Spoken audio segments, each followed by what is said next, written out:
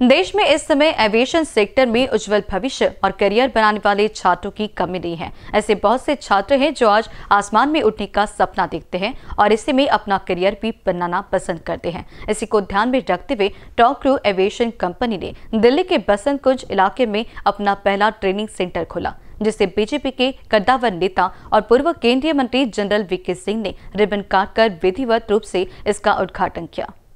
इस मौके पर एविएशन इंडस्ट्री से जुड़े तमाम बड़े पायलट्स और दिग्गज सहित छात्र छात्राओं ने भाग लिया। इस मौके पर जनरल वीके सिंह ने कहा कि इस समय हमारे देश में एविएशन सेंटर में नौकरी पाने और अच्छा काम करने वाले लोगों की कोई कमी नहीं है। आज एविएशन सेक्टर एक बड़ा सेक्टर बनकर आगे आ रहा है। ऐसे में ज़रूरत है कि उन छात्रों और छात्रों को सही ट्रेनिंग और पढ़ाई के ज़रिए उन्हें सबल बनाया जाए, जिससे वो आगे चलकर देश का नाम रोशन कर सके। आपको बता दें कि टॉप क्रू एविएशन कंपनी का सेंटर जयपुर में भी चल रहा है। दिल्ली में यह पहला सेंटर है और इस मौके पर कंपनी के फाउंडर पी कुमार ने कहा कि हम छात्रों के लिए अलग अलग तरह के कोर्स लाए हैं, जिन्हें उनकी ज़रूरत के हिसाब से तैयार किया गया है। आने वाले समय में एविएशन सेक्टर न सिर्फ़ बच्चों को ज़्यादा रोज़गार देगा, बल्कि उन्हें तरह तरह के कोर्सेज से अच्छा पैसे वाला रोज़गार भी मुहैया कराएगा। उन्होंने ये भी कहा कि हमारी कोशिश है कि हम बेहतर से बेहतर तकलीफ़ और ट्रेनिंग के ज़रिए अच्छे पायलट्स और क्रू मेंबर तैयार करें। काफ़ी समय से ट्रेनिंग के अंदर और पायलट तैयार करने के अंदर लगा हुआ और तकरीबन जो इनके पास प्रशिक्षण होते हैं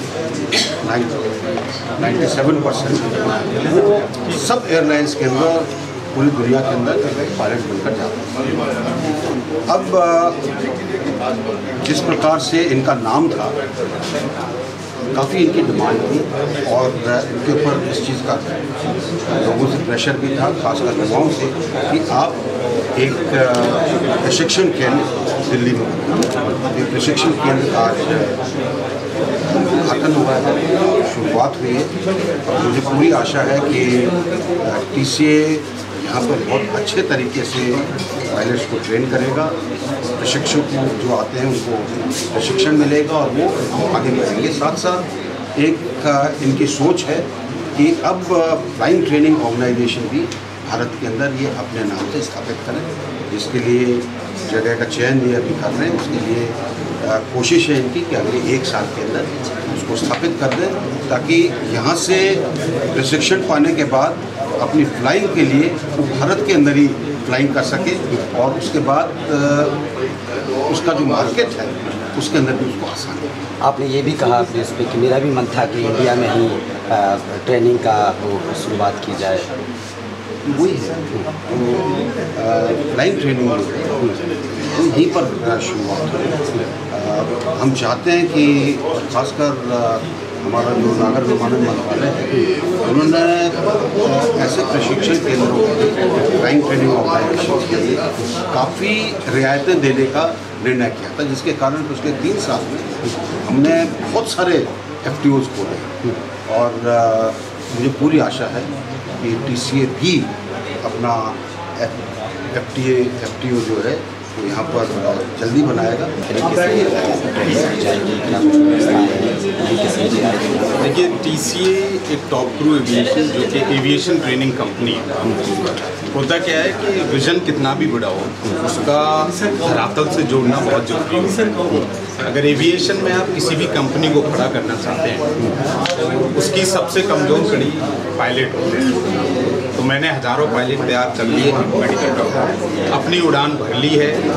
अब न सिर्फ़ पायलट ट्रेनिंग इस एविएशन ट्रेनिंग कंपनी को एविएशन ट्रेनिंग कंपनी के साथ साथ air taxi affordable charter flight services drone services देखिए, जब हम चार्टर सर्विसेज़ की बात करते हैं तो चार पाँच लाख का एक सवाल दिमाग में आता है पर मैं आज आप सभी लोगों से, पत्रकार बंधुओं से वादा करता हूँ, कि दो साल के अंदर अंदर आप चालीस से पचास हज़ार में प्लेन बुक कर सकेंगे। और बहुत बड़ी बात लगती है लेकिन इसको हम ऐप के थ्रू इतना मुमकिन बनाएँगे कि आप घर बैठे कोई भी जहाज़ बुक कर सकें। और तो और एयर एंबुलेंस छोटे छोटे चॉपर्स को इंट्रोड्यूस करेंगे कि अगर किसी भी भाई की कहीं भी कोई एक इमरजेंसी हुई है तो उस चार्टर को एक ऐप के थ्रू बुक किया जा सके।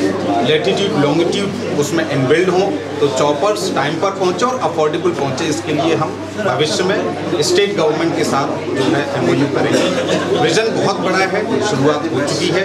ये हमारी तीसरी हिंदुस्तान में ब्रांच है।